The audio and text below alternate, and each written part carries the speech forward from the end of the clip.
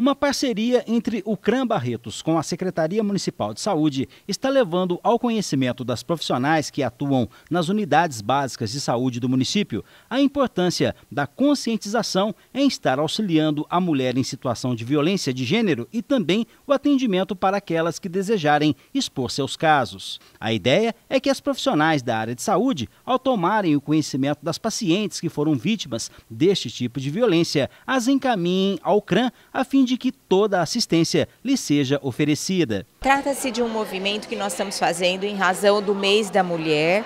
Nós estamos visitando as UBSs, fizemos um, um acordo com o secretário de saúde, uma parceria, na verdade, para que a gente pudesse estar tá indo em loco né, nas UBSs, conversando com as agentes de saúde, para que elas possam nos ajudar a encaminhar a mulher vítima de violência para o CRAM.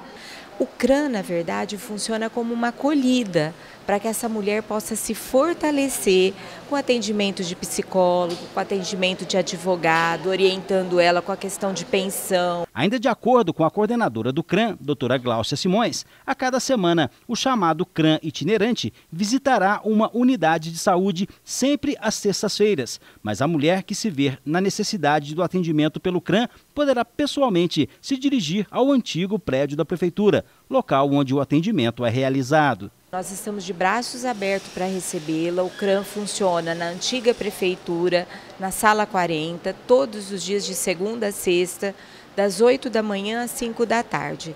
Elas nos procuram, a gente faz a triagem para ver qual os serviços que ela vai querer passar e ela é encaminhada. Além de ser tabu, nem todos os casos de violência contra a mulher são denunciados. E com o apoio do CRAM, espera-se que as mulheres vítimas possam se tornar incentivadas a apontar às autoridades as situações em que são submetidas.